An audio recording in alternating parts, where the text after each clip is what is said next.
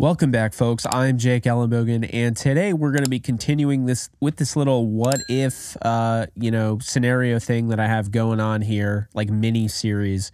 Uh, before we dive into it, be sure to like, subscribe, and comment. Also, be sure to follow me on all social media at JK Bogen. Now let's dive into it. So, I had this idea, and the reason I had this idea was because the Falcons back in 2011 traded up from 27th overall for, to 6th to acquire Julio Jones. Now, the Browns didn't just send Julio Jones to the Falcons. No, no, no. On draft day, the Browns sent that pick to the Falcons. They drafted Julio Jones, and he said he was surprised. He didn't think a team would invest that much in him. Those were his words.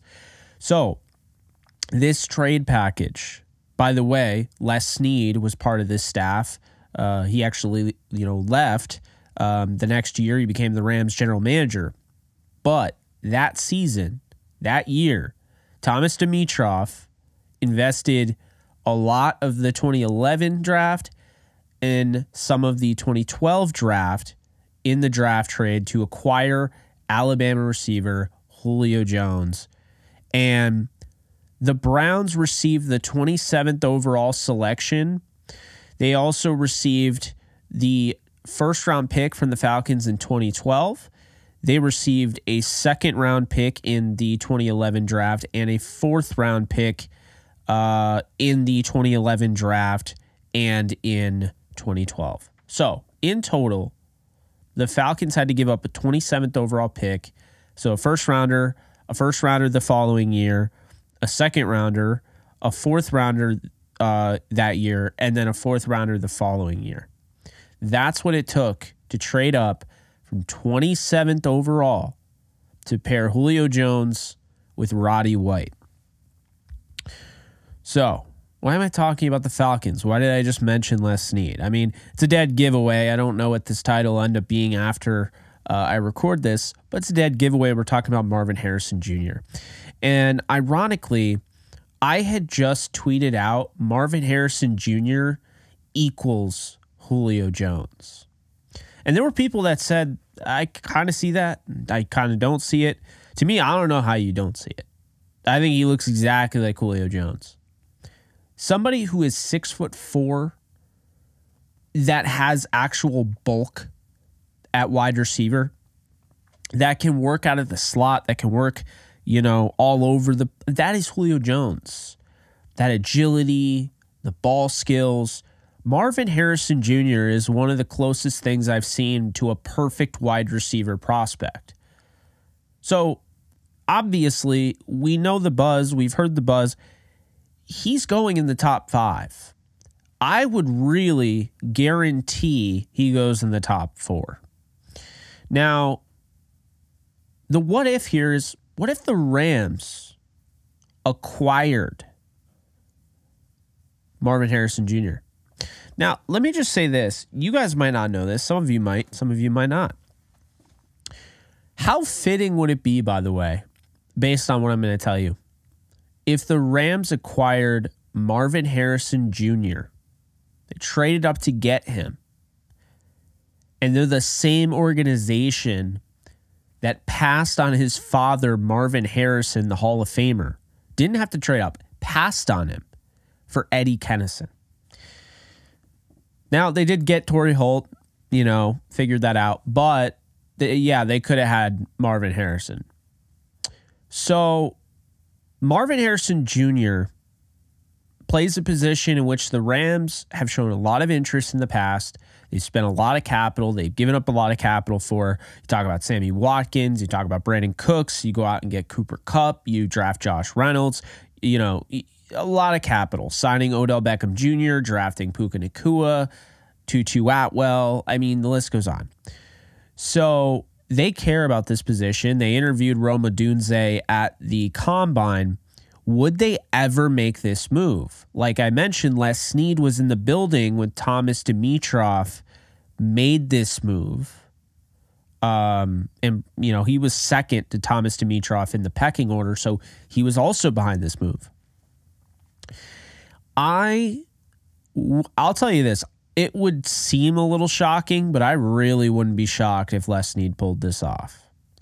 Now, I actually took the liberty of doing something like this. And now, before we, we talk about this, before we talk about what it would cost, we have to figure out who the hell are the Rams trading up with in the draft. That is the most important thing. Okay. So I actually have a trade value chart um, on drafttek.com. Shout out to them that I'm looking at right here. Now, this chart is called the Rich Hill Model 2024. The reason behind this teams are reported to use a revised trade value model in recent years, as discussed by Bill Belichick. DraftTek provides an alternate trade value model developed by Rich Hill of Pat's Pulpit, which we believe more accurately reflects the trades of the past several years.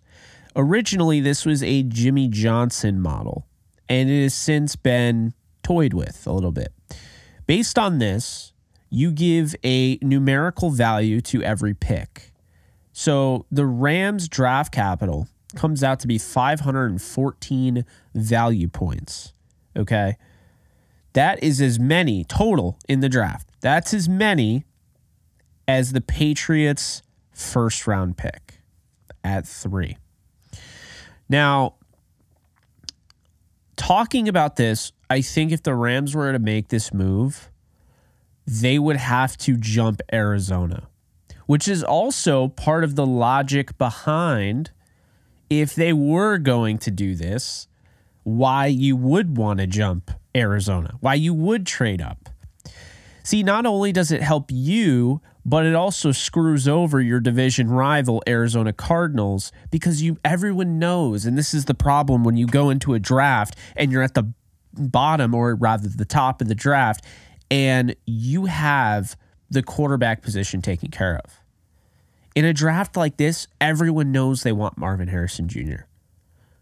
And what's funny is this trade could so easily be a rug pull done by the Rams. And the reason I say that is because at pick one, Chicago is going to take Caleb Williams, right? We all know that. Pick two, it's either going to be Drake Maye or it's going to be J, uh, Daniels. Now, I think it'll be Jayden Daniels, but it could be Drake Maye. Pick three. New England could get their quarterback in the future. However, they could also trade down. And in this draft, with the buzz McCarthy has and you know Maye and you know Daniels, whoever is there at three, everyone is going to suspect that if New England is willing to trade down and they just got Jacoby Brissett, by the way. So if they're willing to do that, then you still have Michael Penix Jr., you have Bo Nix. These are some guys that they could get later on that maybe, okay, they sit a year behind a guy like Jacoby Brissett and start him. If they were comfortable with that, it gives them an opportunity here to package this pick and get a King's ransom.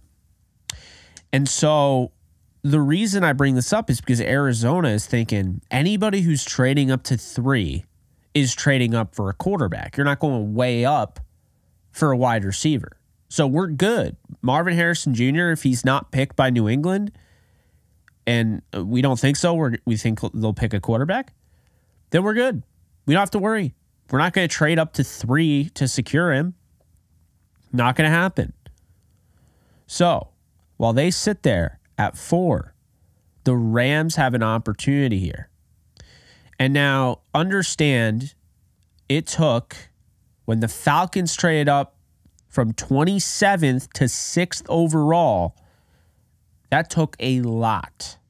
It took the Falcons first, it took the Falcons future first, it took a second, it took a fourth, and a future fourth. So if you're doing the math there, it took five picks. I don't think it would take the Rams that much, actually, because the Rams are not at 27th. They're actually sitting at 19th. If you're wondering, Arizona has the 27th pick. That is 216 points in the Rich Hill model. The Rams' 19th pick is 278. Now, with the Rams, to get up to 514 points for the New England Patriots, the Rams would have to move a future first if they wanted to secure the rest of their draft because they have enough based on their 514 points. And obviously, it's not going to be deadly accurate. The Rams could offer more, they could offer less, and the Patriots could accept it. But the Patriots moving down to 19 would acquire the 52nd overall pick, so the Rams' second rounder, and a 2025 first rounder. So, what if? What if the Rams did this? What if the Rams made the biggest move of the draft? This would overshadow everything. If the Los Angeles Rams traded up from 19 to 3 after not drafting in the first round since 2016, and mind you, in 2016, when they traded up and got their quarterback, he's no longer their franchise quarterback. They already made that crazy trade.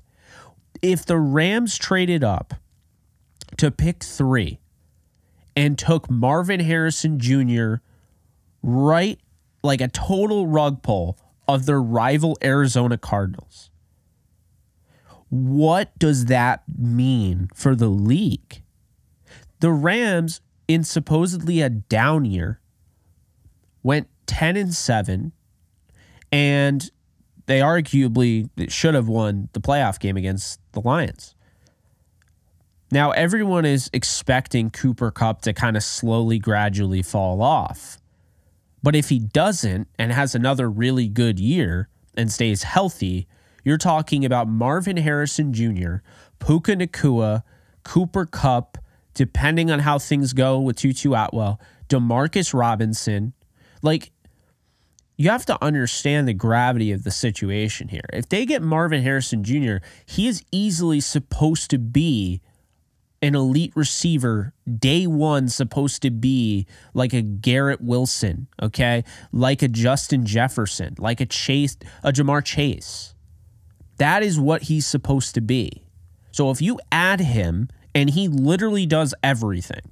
If you added him to this offense, who is stopping the Rams when you factor in Kyren Williams and what they did on the offensive line? They went out and got Colby Parkinson. They have, you know, the emergence of Davis Allen at the end of last year and getting Tyler Higbee at some point in the season.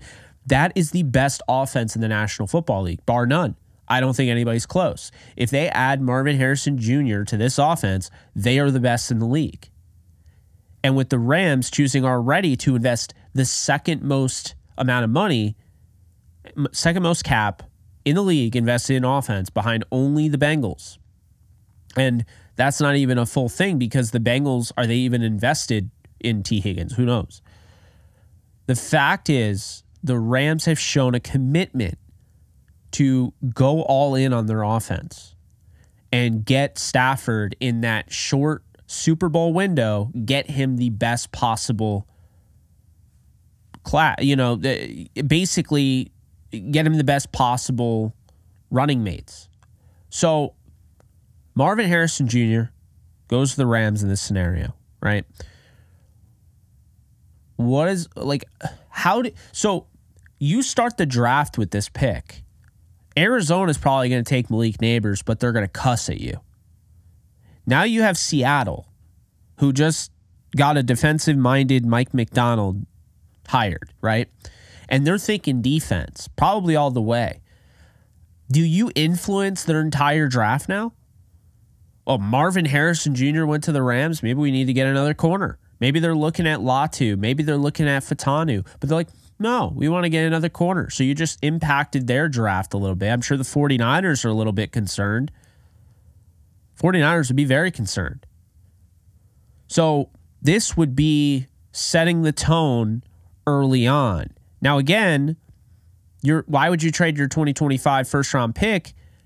You're trading it away because you feel, if you do this, of course, if the Rams do this, they feel so confident that that 2025 first round pick is going to be in the 30s.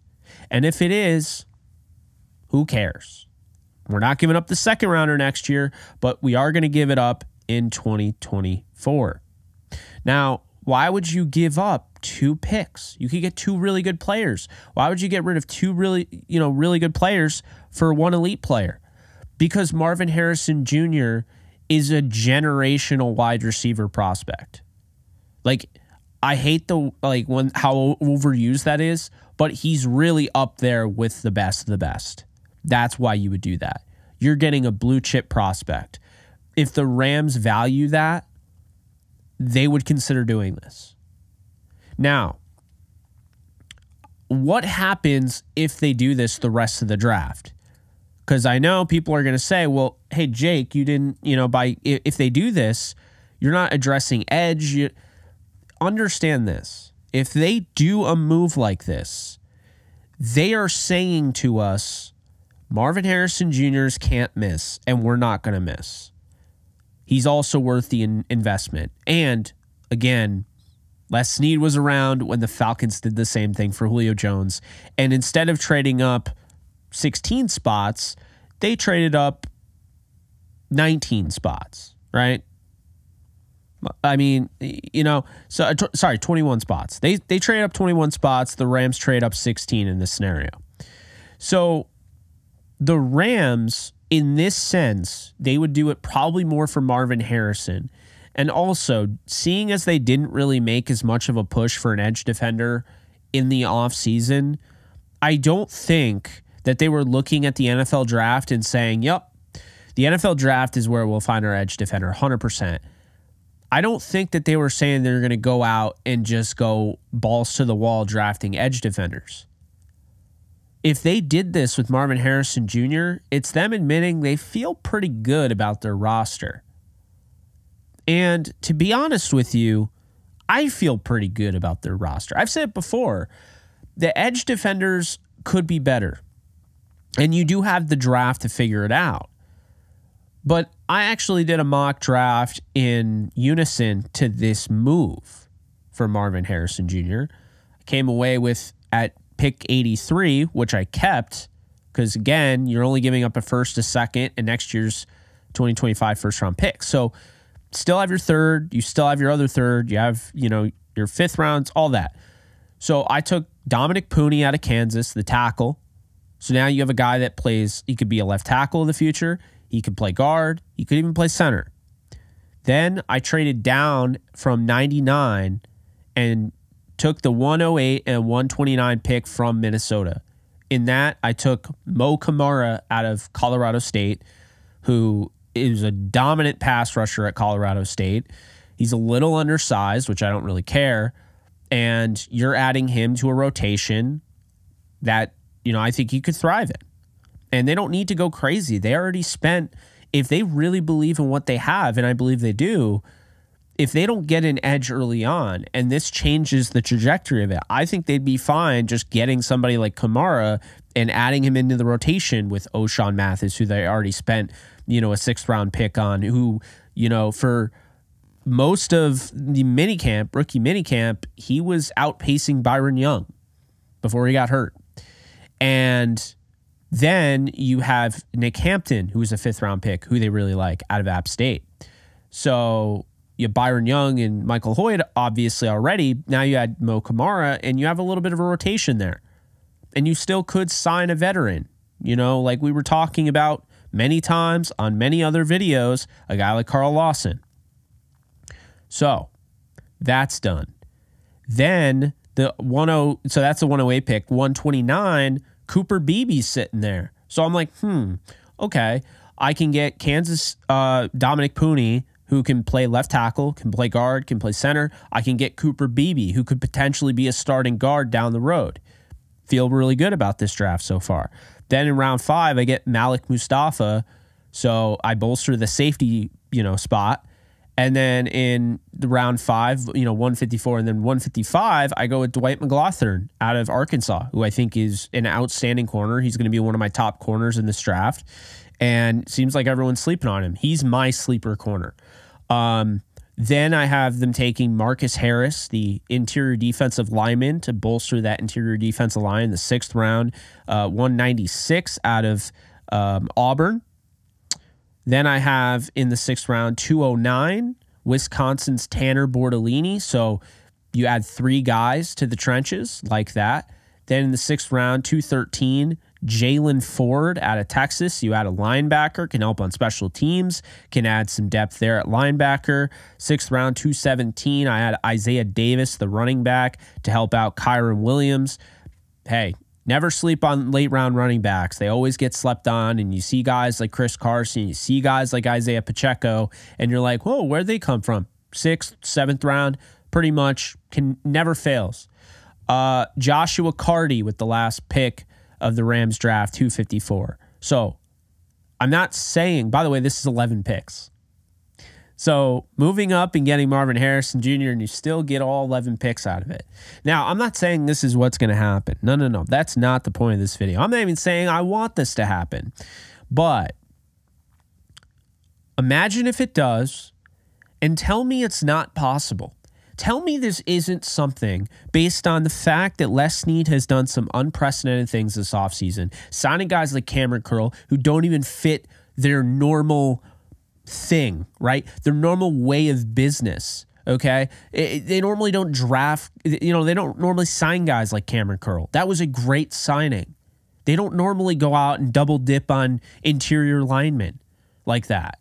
They signed big time Jonah Jackson and Kevin Dotson. They signed a tight end. They don't they don't ever do that. They don't do what they did this offseason. It was an unprecedented offseason. When they went after Tre'Davious White and Darious Williams, like this was a different offseason. This was a lot of signing. They don't normally sign players like that. They don't go crazy in free agency. They did. Well, what's something they normally don't do? Pick in the first round. So what if the year not only are they going to pick in the first round, they're going to make the biggest splash and overshadow everybody in the draft. Because guess what? Caleb Williams going number one overall is going to be talked about, even though it's the worst kept secret in the National Football League. And then you're going to have Washington being talked about for having a new franchise quarterback, and people are going to get those photoshops going. And then all of a sudden, in this scenario, think about it. You're sitting there, you're watching on ESPN or NFL Network, or you're following our live stream. Downtown Rams live stream It'll be on this channel. Uh, shameless plug. And pick three comes through, and you see Rams have traded up with the New England Patriots. What is the first thing you're thinking? Are you thinking because all the tea leaves are there from the media pushing these quarterbacks? Oh, they're going to draft uh, you know, Michael Penix Jr. They're going to draft. Eh, no. If they did that, people would think immediately they are either taking Drake Maye or JJ McCarthy. And if they turn that card in and it's like you traded all the way up for a wide receiver, yeah. Because the last trade that I remember that was like that was Julio Jones. And guess what? Marvin Marvin Harrison Jr. is just like Julio Jones as a prospect. I'm not saying he will end up being better or the same as Julio, but if he stays healthy, because Julio had some issues with injuries, if he stays healthy, good lord, with Sean McVay, this guy can. That's the thing people don't understand. Marvin Harrison Jr. is equipped right now to go into a situation with a bad quarterback and a very mid number two receiver.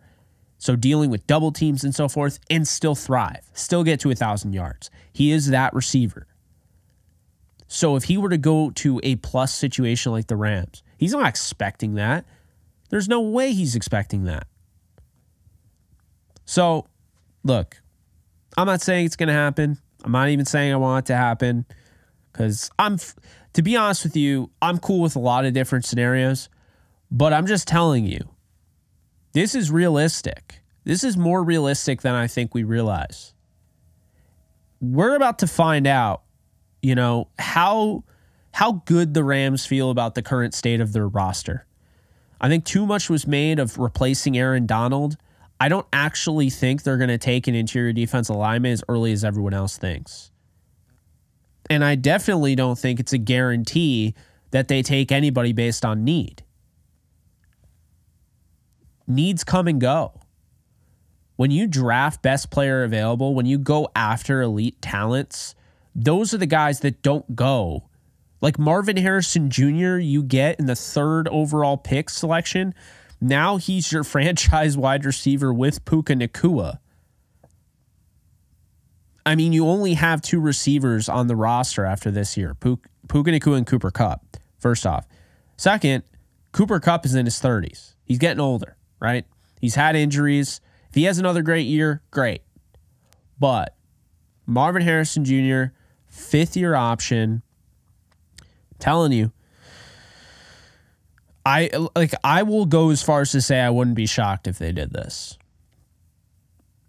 Because you're giving up a second and you're giving up your first and you're giving up a first in 2025 that will likely be at the end of 2025 first round pick I, don't think you're giving up too much to get a wide receiver that is game breaking i don't think you're giving up too much to get a wide receiver that's the final piece to the puzzle now what you could argue and this is why I could see them not doing this. Big reason is because if they traded up, you're only trading up to three to get Marvin Harrison Jr. or one of the top three quarterbacks. That would be the only reason to trade up to number three.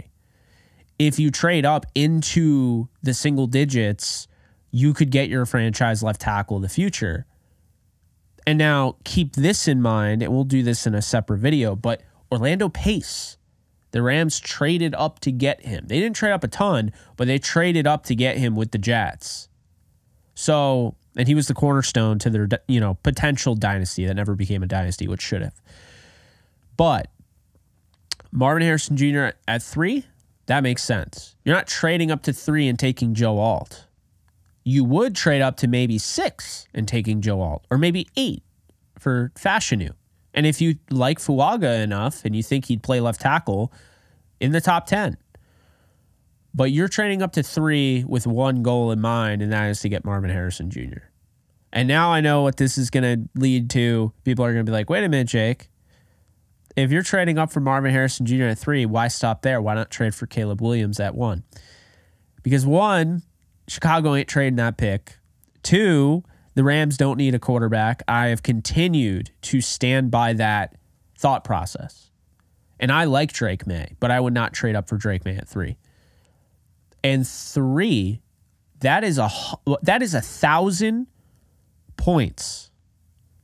The Rams, the next two drafts they'd have to give up for Caleb Williams, like to get that thousand points, and that would just hurt their team. So I'd be against it. But I think with Marvin Harrison Jr., if you can get Marvin Harrison Jr. for a first, a second, and next year's first round pick and you might be you might still have to give up a, a late you know a fifth and maybe next year's third or something the point i'm making here first off they accepted it i was able to do it but the point i'm making is that this is more realistic eh, than i even realized and so i thought it was very interesting and i should make a video on it again i'll leave you with this the rams had a chance to get marvin harrison and they drafted Eddie Kennison.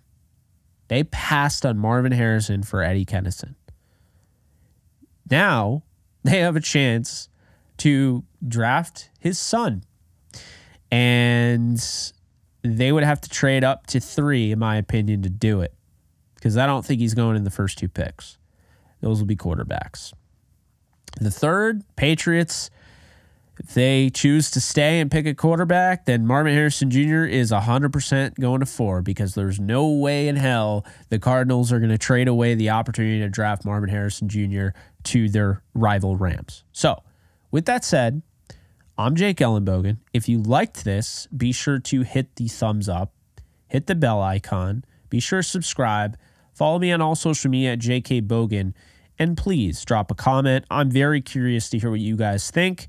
I'm sure this will become some stupid AI article because I keep getting my videos transcribed and put into articles. And I don't know if you guys have seen it, but it was on like Facebook where this Rams AI page posts like these articles. So I say like hypothetical trade ideas, and they'll be like, uh, rumor the Rams are trying to trade up for Marvin Harrison Jr. So if you see that, just know, well, unless they actually are, I'll be the first one to tell you that. But if you see that, just know that it's probably AI because AI is the little worst thing to happen to anybody. Um, anyway, that's all I got for you guys. I hope you guys enjoyed. Appreciate you guys hanging out here. And uh, I can't sit here and say I would be upset if the Rams got maybe the best player in this draft. See you guys next time. Later, folks. Do you love talking about the Rams, the NFL, or just want to be a part of a community? Join my free Discord server today. We're over 800 members. We got 24 7 live chat, a level 3 boosted server, the ability to call into JE Live, playing online games with us on Kick streams, toggleable alerts for when I go live on YouTube or Kick so you don't miss a live stream, and exclusive giveaways. Click the link in the description, the comments section, or the link that comes up in the video to learn more and join today.